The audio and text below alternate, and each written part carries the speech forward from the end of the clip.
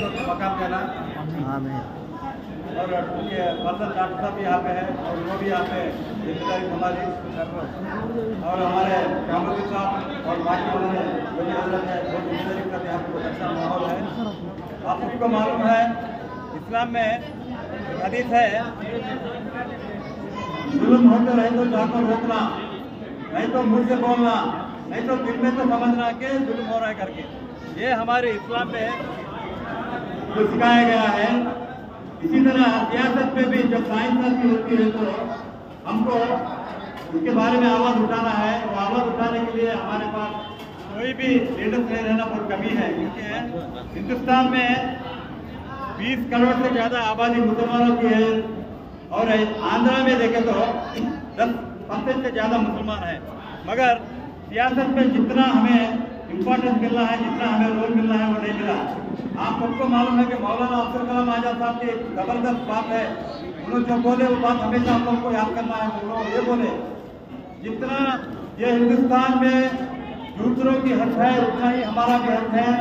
हम भी उतने ही यहाँ पे हमारा हक है कि दूसरा जितना है, क्योंकि ये हिंदुस्तान सब लोगों का है, किसी का एक का नहीं है। ये बात समझते हुए भी हमारे लिए हमें लड़ना भी बहुत ज़रूरी है इसके लिए हमारे लिए हमारा एक रिप्रेजेंटेशन भी पार्लियामेंट में असेंबली में, हर जगह रहने की ज़रूरत है। क्योंकि हम किसी से भी कम नहीं और हम किसी से भी ज़्यादा नहीं सब बराबर है यहाँ पे। मगर हक, हमारा कोई दूसरा छीन लेके हम लोग गरीबी में रहना, हम लोग कोई भी सियासत में रहना भी, ये गुना है। क्योंकि प्रचार कमेटी, रंगनाथ कमेटी की रिपोर्ट आप देख लेंगे। तो हिंदुस्तान में सबसे बैकवर्ड एजुकेशनली इकोनॉमिकली पॉलिटिकली मुसलमान है। ये कौन था? हज़ार साल ये यहाँ पे हुकूमत किया और उसका बैकवर्ड है, इसलिए है कि हमारे में एजुकेशनली बैकवर्ड है फाइनेंशियली बैकवर्ड है।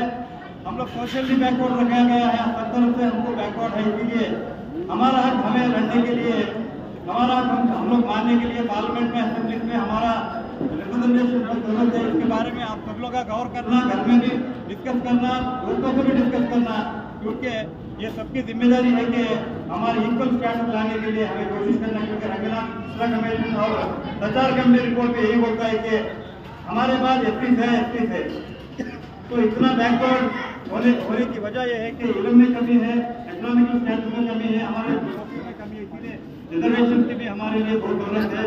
और यहाँ पे फोर परसेंट है और सेंट्रल में भी आ रहा है।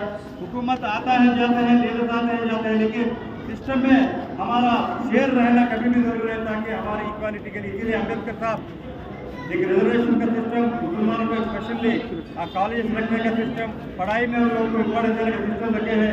ये सब लोग हम भूल के हम लोग कमज़ोर नहीं है, हम लोग की ताकतवर ही दूसरे दूसरों की जीता है हमें उसे इसीलिए हम सबको मिलके ये हासिल करने के लिए एक कलेक्टिव डिसीज़न लेने की ज़रूरत है इसीलिए हम लोग आपस में बातचीत करने की ज़रूरत है, क्योंकि जो अपना हक होता है, जो अपना हक नहीं ले सकता है, वो बहुत बड़ा गुना है और बहुत बैकवर्ड हो जाके हर तरफ़ से वो बना होने की एक मौका मिलता है, वो मौका दूसरों को नहीं दे रहा है।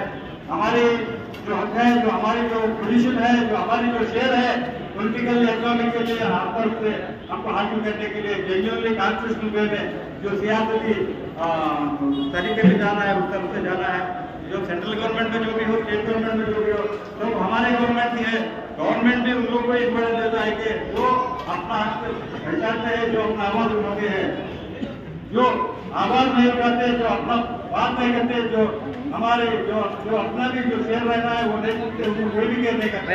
वही आजकल होता है इसलिए जो थोड़े जगह खामोशी अच्छा नहीं अच्छा नहीं है अपने हक के लिए आवाज़ उठाना ज़रूरत है इसलिए इफ्तार के मौके में क्योंकि रमज़ान शरीफ से एक हाँ देखिए गरीब सबसे नहीं कर मिलते और जो दूसरे के बा- हमारे जो कौन के बारे में बात करना भी एक नेक काम है और सियासत में सही तरीके में रहना भी एक नेक काम है।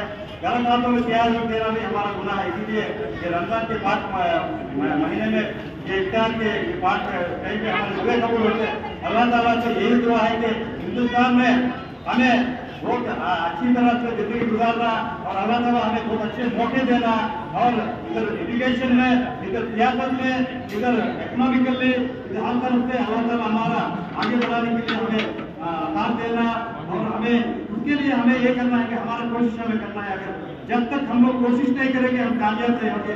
जब तक हम दुआ नहीं करेंगे, अल्लाह ताला हमारा दुआ नहीं मानेंगे इसीलिए दुआ करना और कोशिश करना और जो अच्छा काम करते हैं, उनको साथ देना हमें सबकी ज़िम्मेदारी है।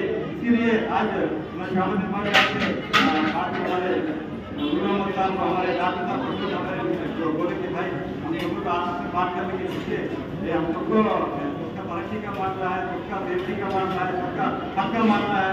रमज़ान में ये एक नए माहौल में सब आपने बात करने के लिए अक्सर रमज़ान आता है जाना है लेकिन हमारी तरक्की भी हम लोग को देख लेना है इम्पोर्टेंट है वर्क प्रॉपर्टी इतने हैं हमारे हिंदुस्तान में राजधानी में के अगर वर्क प्रॉपर्टी हमें दे दिया तो हमें हुकूमत के देने की भी ज़रूरत है उतना प्रॉपर्टी से उतना प्रॉपर्टी लोग रहते पर भी और हम लोग इतना ता- तादाद से लोग रहते पर भी क्यों गरीबी है क्यों एजुकेशन बैकवर्ड है क्यों पॉलिटिकली बैकवर्ड है ये तो फ्रॉड करने की ज़रूरत है, किसी से डरने की ज़रूरत नहीं क्योंकि हमारा कॉन्स्टिट्यूशन इतना फर्म को बेहतर स्ट्रांग है। क्योंकि उसके ऊपर हम लोग यकीन रखना है। अल्लाह ताला हमें ज़रूर मान करेगा। एग्ज़ाम का भी टाइम हो रहा है। ये इंशाल्लाह आइंदा फिर मिलते रहेंगे और उसके बारे में डिस्कस करते रहेंगे, क्योंकि आप एक ही सोचोगे, एक देख मांग रहा है। क्योंकि हम लोग को एक गाँव के तरक्की के बारे में बात कर रहे हैं। इसका ये देख मामला है सवा मिलता है रमज़ान में तब तक है इसलिए आप भी गौर करो, हम लोगों से बात करो, आप भी पढ़ो, आप भी शामिल हो, आप भी वोट, कोई भी किस हो वोट, हम हर एक वोट एनरोल कर लो वोट करो और अपना ताकत लगा के जो सही तरीके में जो हुकूमत है हमारा मैसेज भी पहुँचा ज़रूरत है और मुझे बुला के यहाँ पे बात करने का मौका अफसाल देते हैं इतना दिया आप सबसे से शुक्रिया अदा करता हूँ अल्लाह हाफिज़।